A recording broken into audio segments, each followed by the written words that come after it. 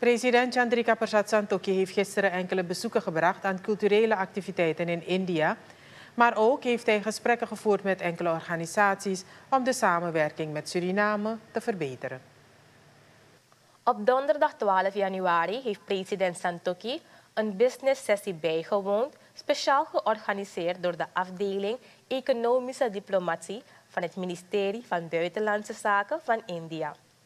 Voor de president is het belangrijk dat beide landen hun mogelijkheden intensiveren en uitbreiden met wederzijds voordeel.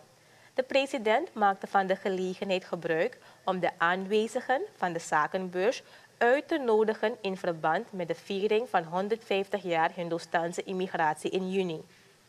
Tijdens het bilateraal gesprek tussen president Santokhi en de gouverneur van Gujarat gisteren is er gesproken over de opzet van een onderzoekscentrum, een Nationaal Instituut voor Farmaceutisch Onderwijs en Onderzoek.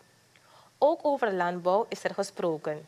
De gouverneur wil Suriname helpen met biologische landbouw en kan mensen sturen om landbouwers in Suriname te trainen. De Surinaamse delegatie heeft gisteren een bezoek gebracht aan het National Institute of Pharmaceutical Education and Research in Ahmedabad, Gujarat. De gezondheidssector in Suriname zal heel goed kunnen profiteren door nauwere samenwerking met dit instituut vanwege het overdragen van specialistische kennis. In het kader van de technische samenwerking tussen Suriname en India zal binnenkort een MOU worden ondertekend.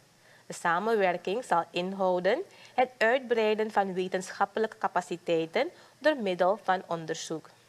En de presidentiële delegatie heeft ook een bezoek gebracht aan het festival van Pramukh Swami Maharaj Satabdi Mahotsavi in India, die vanaf 15 december een maand lang wordt gevierd.